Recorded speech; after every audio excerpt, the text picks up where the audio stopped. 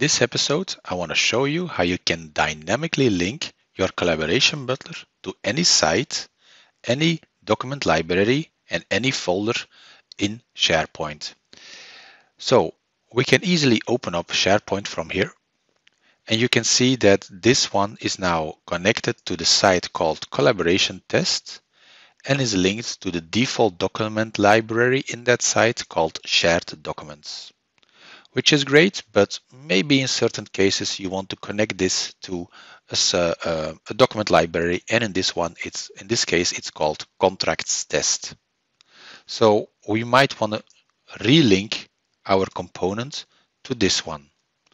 We can, of course, do this hard-coded, but then maybe you have a site per record in Salesforce. So you might want to dynamically know to which uh, site you're going to connect. And maybe you have a, doc a document library uh, per uh, record. So maybe you want to dynamically say to which document library you can uh, link to. You can all do this via Collaboration Butler, just via the just uh, via the correct configurations. Okay, let's take a look how to go about this. First of all, I want to indicate that I have created some formula fields which uh, I've placed on the bottom of my uh, my um, page. And uh, these formula fields indicate to which library and which, no, sorry, which site and which document library I actually want to connect to. So if I just now change this formula field into something that indicates that I want to uh, connect to contracts test, then I'm all good. So let's take a look at our formula field. This is on the account. I have my formula field right here. And for this example, I made a very, uh, a very easy one, but you will see further on in this video, it's going to be more complex. So a formula field, you can indicate which fields you want. Maybe you have certain fields that uh, uh, identify the correct uh, uh, site or library. All of that is possible. This is a formula field, so you know how to handle that. And here, I, you see what I did? I just made sure that the percent 20, which means space in the URL language, uh, is actually now an actual space here. We cannot do the uh, percent 20 here, so you have to replace it with an actual space. That's why this is a good demo, because you'll see that uh, this also has to be done Okay, cool. Uh, now my um, my site, and this is my document library. All looks great.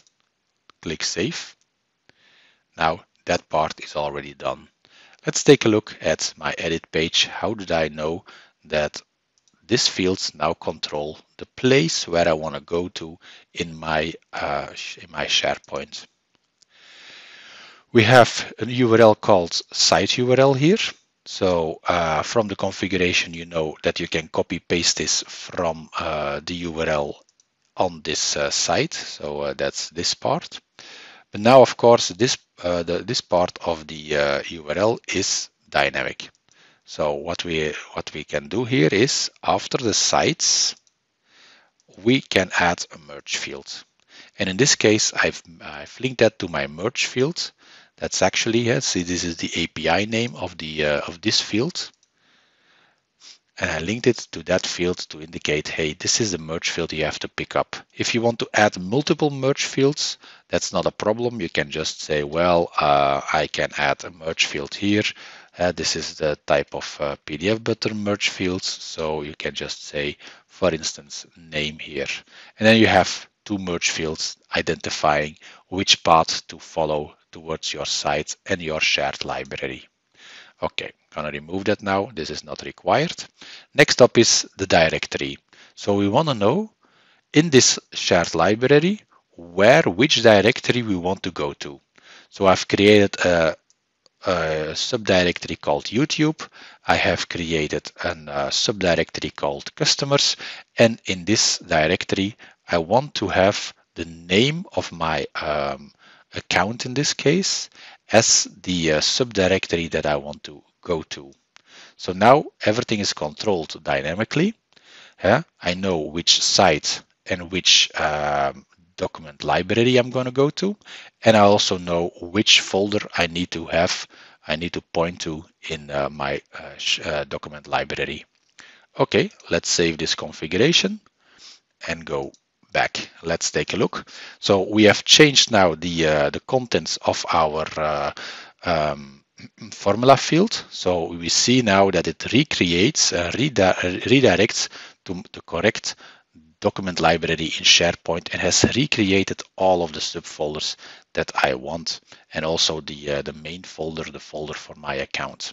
If I open this in SharePoint, you will see that I end up in my uh, collaboration test. This is my document library. I end up in the uh, Cloud Crossing BVBA. So that's the uh, uh, folder that I wanted to end up in. That's the name of my account. And it automatically creates all of the subfolders. That was another episode where we have uh, indicated that all of the subfolders must be created automatically. So my connection to SharePoint now is perfect. This is exactly what I want. Let's take it a step further.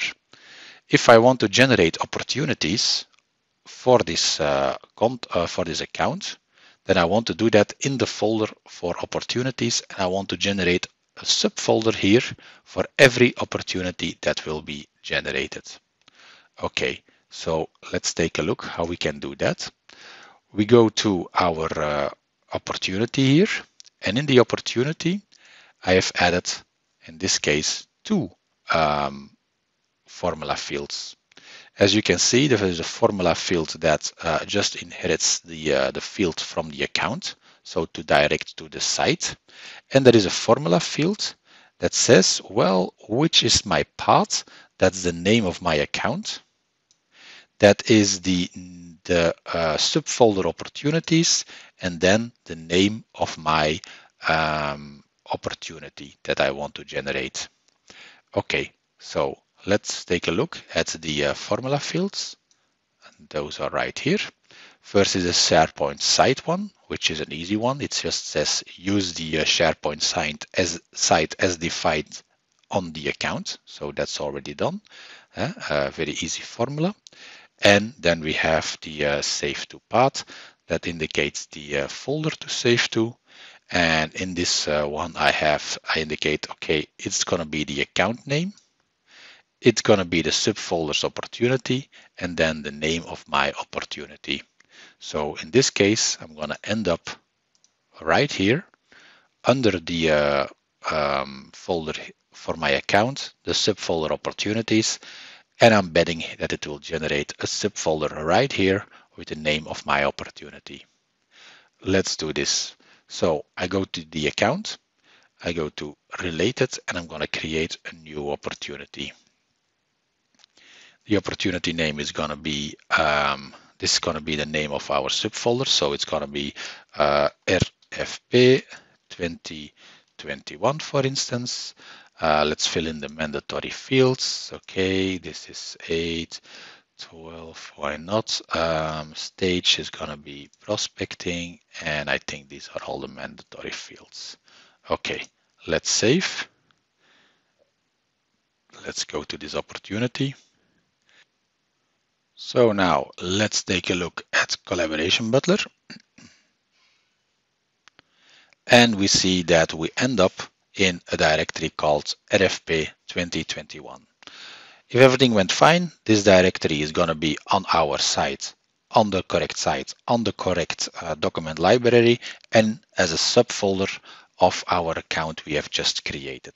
Okay, uh, click the link. It will open up now in SharePoint immediately. And as you can see, we end up in the right uh, document library on the correct site and in the correct subfolder exactly where we want to be. So now how did we control this from uh, our opportunity? Well, it's actually the exact same setup. I have my two formula fields, as you can see here, and now these ones are pointing to the correct uh, path and folder that we want to end up in. And if I go to my edit page, it's the same kind of setup as we seen earlier on the account. So we can go here to collaboration butler, select the SharePoint one, And here uh, we see that we have the API name of the SharePoint site formula field, and we have uh, to control the path, we have the uh, API name of the save to path uh, formula field that I've uh, generated. So everything looks good. Um, I end up exactly where I want to be, and I can control everything that relates to sites, uh, document libraries, and folders in our SharePoint.